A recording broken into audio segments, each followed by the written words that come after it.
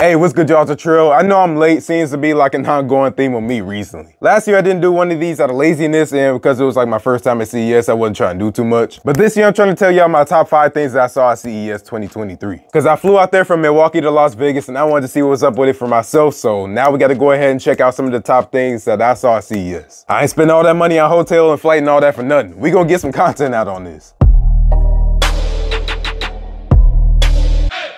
So the fifth thing I want to go and talk about is the Sony Honda Afeela car. So I saw this and you could just see it in the video. It looks crazy as it is. Now this ain't the first year Sony and Honda showed off a concept car CES. They actually did it last year too. So this their concept car right here and they say they want to bring it out to the market in 2025, but we'll have to see about that. It's actually a prototype of their first mid-size sedan, but if we actually look here on the front of the bumper, you can see that we have this thing called a media bar. So it's going to tell you things like the in-cabin temperature and you could change like the logo of the car and you can do all this stuff with it supposedly. So I thought that was pretty dope just on its own right there. I don't know if it's like OLED or what, but I thought that was cool. And at one point, I'm pretty sure I saw an advertisement on there. So if they're gonna do that on our like release cars, I don't know about that. That's like, that's kind of sketch in my opinion. Like I'm gonna spend all this money on the car and I'm gonna get ads on it. And pretty much with a partnership like this, Honda's gonna build the car itself in their own factories and Sony's gonna provide the entertainment like you might expect. But if you didn't know this, Sony makes, obviously they make cameras, so they're gonna make the 45 cameras that's gonna be on the car. That's crazy to think about. Inside and outside, they got 45 cameras total, and that's gonna be so like the car can make sure you're attentive and all that. I don't know how you feel about that. Me personally, I don't want my car telling me what to do, but I guess, you know, that's safe and everything, but still, I don't know if I'm feeling that. Now, if you actually look inside the car, good thing I brought my S22 Ultra because I could get this like super far zoom, but if you look inside of it, you can see this long stretch of just screen. It's all screen on the dash. And then Sony was talking about how you got these accent colors inside that you could change, but I mean, to me, that ain't really nothing new. I'm used to it. Like in my car, I can do that myself, so, I mean, Okay, that's cool, I guess, thanks. Number four is gonna be the announcement Samsung made where you can actually have Philips Hue Sync built into your Samsung Smart TV.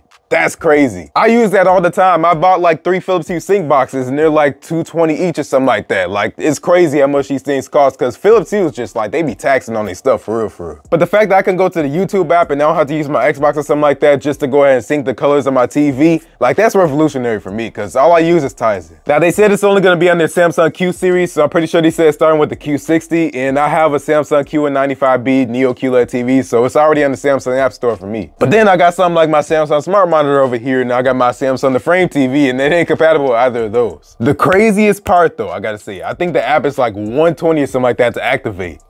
What? I wasn't really expecting them to make a free app after they were selling these 220 sync boxes, but Really? 120 bucks for an app? Are you crazy? And you can only use it on one TV. You can't transfer it from one Samsung TV to another. Like, all right. You don't even buy it on the Samsung App Store. You download the free app and then you buy it through Philips themselves. Well, you still buy it through Samsung Checkout, but you don't buy it on the Samsung App Store. Besides all that though, I still gotta say it's pretty dope. Next up is gonna be the Samsung Odyssey Neo G9. So it's like a curved gaming monitor and I was there with a few YouTubers. So it was me, TK from Total Tech, Mike from Tech 702, and then there was Ben from Lover Tech. We was all, I'm pretty sure, playing Asphalt on there and we was all impressed because it was like, it fills up your whole peripheral vision like perfectly. I always saw curved monitors as a gimmick and then when I saw this here, it was a 4K screen. I was like, yo, this is actually something else right here. Now me, I'm still using a flat screen, widescreen LG monitor over here to edit it with and all that. But like, if I was gaming, I would have like a gaming PC and all that, I would probably cop that. They got all these food stamp dodges. They must have paid them a license or something in there. Feedback in the steering wheel is nice as well, you know. Yeah. Getting a lover, finally getting a lover tech feature on the Latrell Jennings Come channel. on, come on, come on. What's good, Pro family? Another food family, stamp what's dodge. good? Yeah, What's how good? many how many people need a tax return out here today? What's going on, man? What's good? Two, ser- two series? tech family.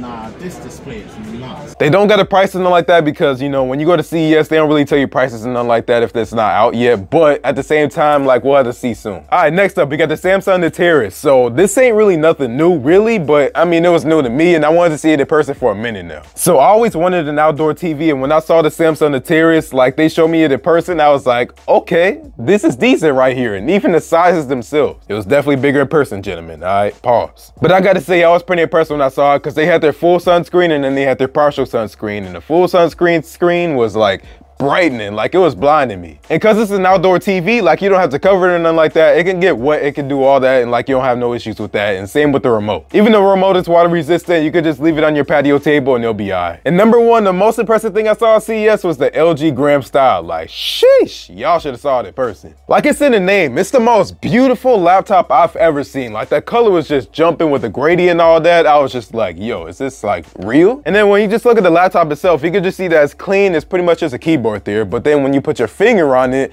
then you can see the trackpad. I was like, I was just blown away right there. It's gonna be one of those Force Touch trackpads like Apple introduced in their MacBooks that I ain't really feeling, but I thought it was pretty cool on that laptop. Again, I don't really know the price, and to be honest with y'all, I don't really know much about the functionality, but just the design itself, like I got eye candy right there. Now I do got some honorable mentions too I wanna throw at y'all. So the first one's gonna be the LG OLED Flex. So the LG OLED Flex is basically just a monitor that like curves in real time, which to be honest with y'all, I don't really see no functionality in that. I ain't see the point. But at the same time, I saw it in person, I saw how it worked and I thought it was cool. The next honorable mention is gonna be the LG OLED T and that's gonna be the transparent TV. So transparent OLED screens ain't nothing new to me because I had like a Johnson Controls glass thermostat. I never did a YouTube video on it and I don't know why, but I did have one for a minute and it was just sitting on my wall. So I saw it every single day and I got used to it. I still thought it was cool, but I got used to it. So seeing a transparent OLED screen wasn't really nothing new to me. But still, with that being said, seeing it on the TV was still pretty dope to see. And on top of that, it could change into a regular TV whenever you wanted to.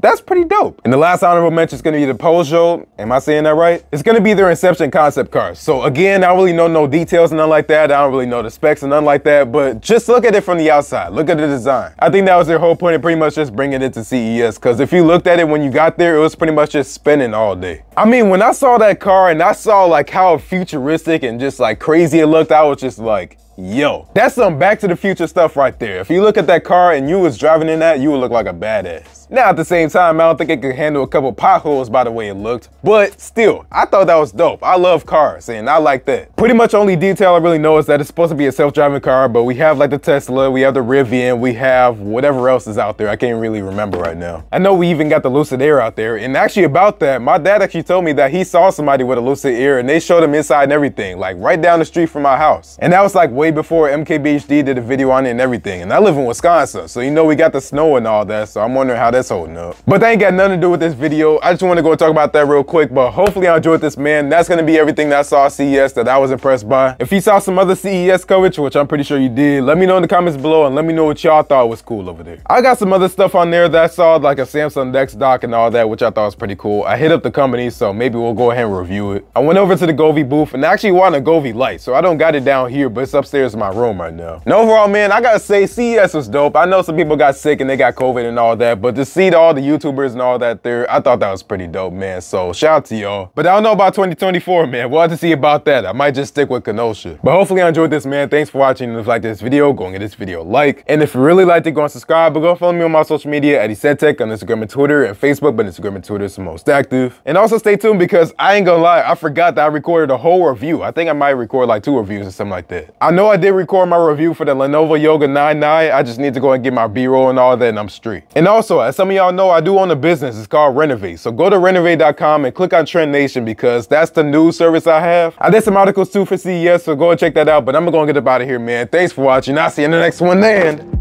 Oh, peace out.